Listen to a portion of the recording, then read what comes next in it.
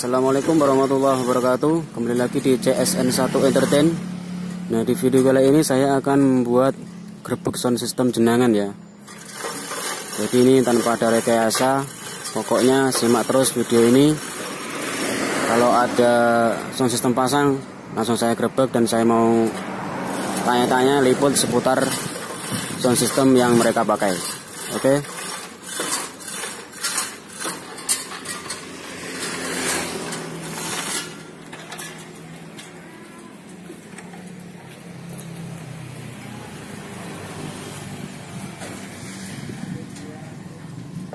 Ini ada dia suara sound system dari Ponggok Blitar ya.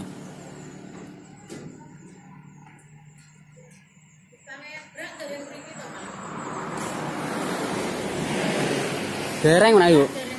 Dereng.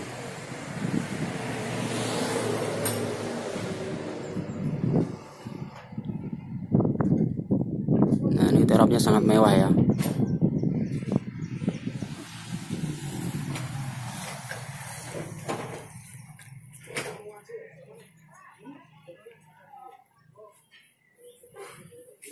ini pakai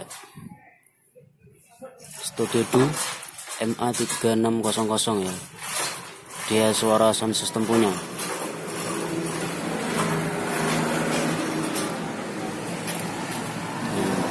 Ini ada panel.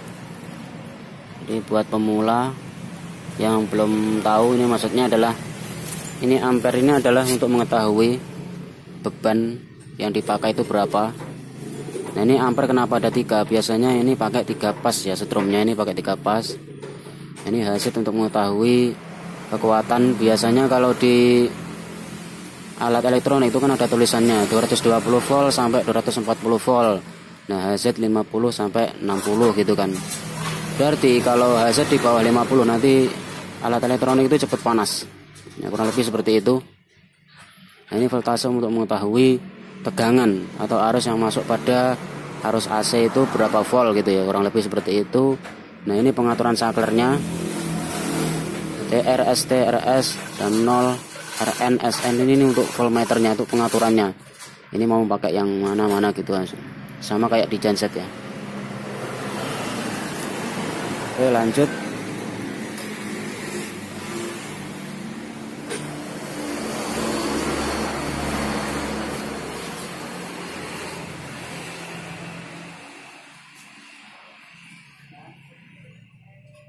Nah ini dia sound system. Pakai power balap juga pakai power stylus ya. Yang 3.2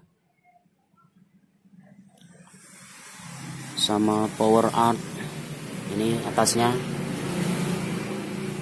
Dan ada juga ini sejenis kayak power power rakitan. Atau orang Jawa bilang power ombro.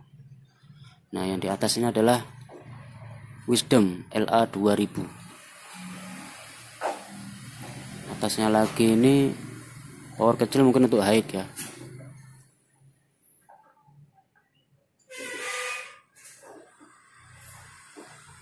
Oke kurang lebih seperti itu. Nah itu ibu-ibu lagi masak dia. Nah, Sekedar iklan. Nah itu ibu-ibu lagi masak. Yang semangat bu Ya ini dia suara sound system dari Ponggok Blitar Gembongan ya.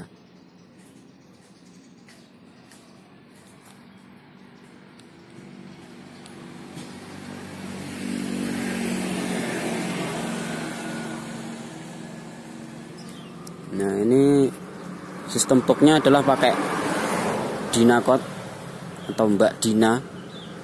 Ini suaranya biasanya kalau di dekat itu kurang begitu ini ya kurang begitu kelihatan.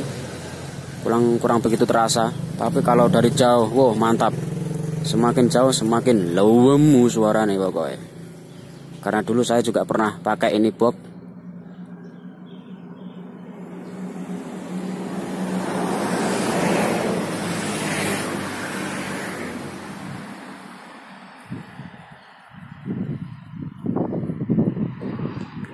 pokoknya mantap. Oh ya ini lagi pasang lagi loadingan di Mayangan ya Mayangan Sri Kanton Sri Katon Ngantu. Oke. Mantap pokoknya. Oke tonton terus. Braikoi nah ini gensetnya genset zaman dulu maksudnya. Maksudnya genset genset genset rakitan atau bisa dikatakan odong-odong kalau orang-orang sekarang ngatakannya nah, ini pakai Amek Amek 25 HP atau sekitar berapa ya bisa dikatakan 24 PK lah. Itu RPM nya 2400 Amek ya produknya. Nah ini diakalin pakai tangki. Biasanya kalau sistem kenapa diakalin pakai tong begini ya?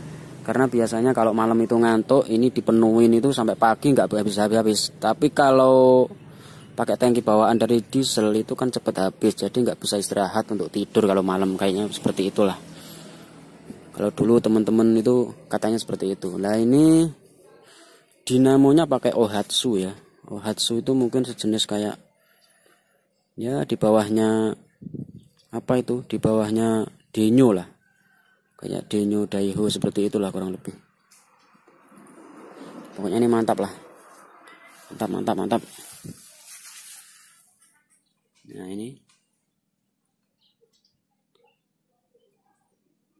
Kalau mungkin ada yang penasaran ini berapa ribu watt atau berapa KVA ini saya juga kurang tahu karena tulisannya udah hilang.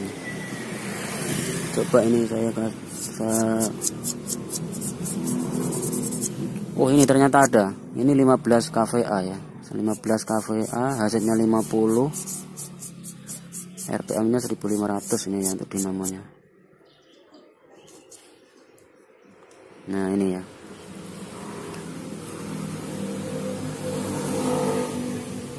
Pokoknya mantap